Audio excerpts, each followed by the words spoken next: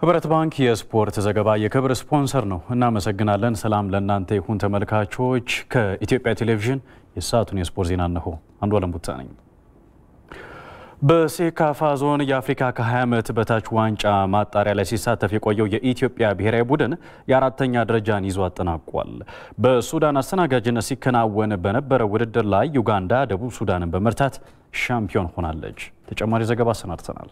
كبير من قبل المنتخب الأثيوبي البديل. هنا التسديده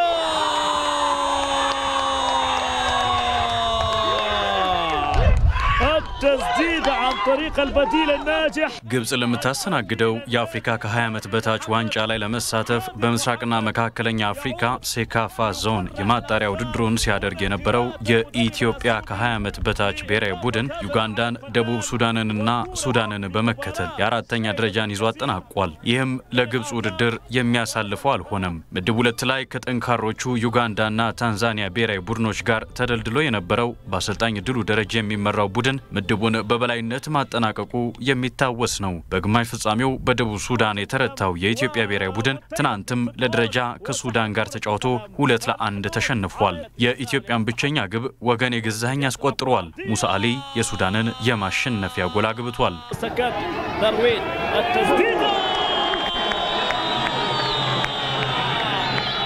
በምድብ ጨዋታ ከታንዛኒያ ብሔራዊ ቡድን ጋር የመጀመሪያ መርሃ ግብሯን ያከናወነችው ኢትዮጵያ ሁለታቻ መለያየቷ አይዘነጋም። ዮሴፍ ታረቀኝና ከድር አሊ ደግሞ የኢትዮጵያን የአቻነት ግቦች ያስቆጠሩ ተጫዋቾች ናቸው። በመቀጠል የድሉ ደረጀ ቡድን የገጠመው የውድድሩ ሻምፒዮን የሆነችውን ዩጋንዳን ነበር። በጨዋታው ኢትዮጵያ አንድ ለዜሮ ስታሸንፍ ከድር አሊ የድል ግቧን ማስቆጠሩ አይረሳም። በዚህም መሰረት በአራት ነጥብና በአንድ ንጹሕ ግብ የምድቡ የበላይ ሆኖ ማጠናቀቅ የቻለው የኢትዮጵያ ከ20 ዓመት በታች ብሔራዊ ቡድን ወደ ግማሽ ፍጻሜው ማለፉን ተከትሎ ለፍጻሜው ለመድረስ ከደቡብ ሱዳን ጋር ተገናኝቷል። ሁለቱ ቡድኖች በጨዋታ ሁለታቻ በመለያየታቸው ወደ መለያ ምት አምርተው ደቡብ ሱዳን አራት ለሁለት አሸነፋ የፍጻሜ ተፋላሚ ሆነች። በዚህ ፍልሚያ ላይ የኢትዮጵያን ያቻነት ጎሎች ያስቆጠሩት ዮሴፍ ታረቀኝና ዘላለም አባተ ናቸው። ውጤቱን ተከትሎ ሶስተኛ ደረጃን ይዞ ለማጠናቀቅ ከአስተናጋጇ ሱዳን ጋር የቀረበችው ኢትዮጵያ ሁለት ለአንድ ተረታ የአራተኛ ደረጃን ይዛ ጨርሳለች። በአዳዲስ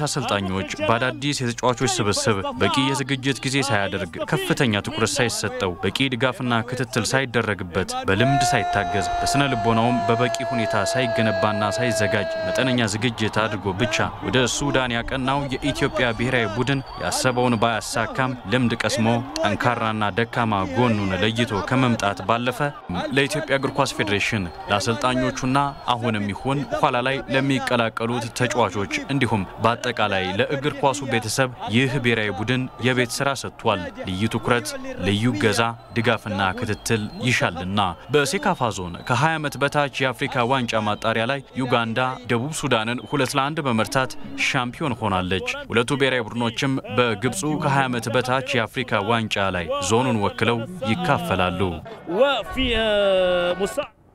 በኢትዮጵያ ፕሪምየር ሊግ ሰባተኛ ሳምንት ኢትዮጵያ መድን የሊጉን የደረጃ ሰንጠረዥ መምራት የቻለበትን ድል አስመዘገበ። ትናንት ቀን 10 ሰዓት ላይ ኢትዮ ኤሌክትሪክን የገጠመው መድን ሁለት ለዜሮ በሆነ ውጤት ነው ማሸነፍ የቻለው።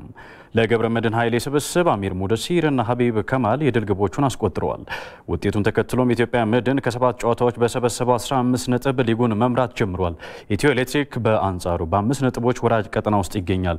ምሽት አንድ ሰዓት ላይ በተደረገ ሌላ ጨዋታ ደግሞ ሐዋሳ ከተማ ሲዳማ ቡናን አሸንፏል። ብቸኛዋን ልዩነት ፈጣሪ ጎልም እዮብ አለማየሁ ከቅጣት ምት አስቆጥሯል። የሲዳማ ቡናው ግብ ጠባቂ ፊሊፕ ኦቮኖ ኳስ ከግብ ክልል ውጪ ነክቷል በሚል በቀይ ካርድ ከሜዳ ወጥቷል። ግብ አስቆጣሪው እዮብ አለማየሁም በሁለት ቢጫ ካርዶች ከሜዳ ተወግዷል። ውጤቱን ተከትሎ ሐዋሳ ከተማ በ13 ነጥቦች አራተኛ ደረጃን ይዟል። ሲዳማ ቡና ደግሞ በነበረበት 11ኛ ደረጃ ላይ ቀጥሏል።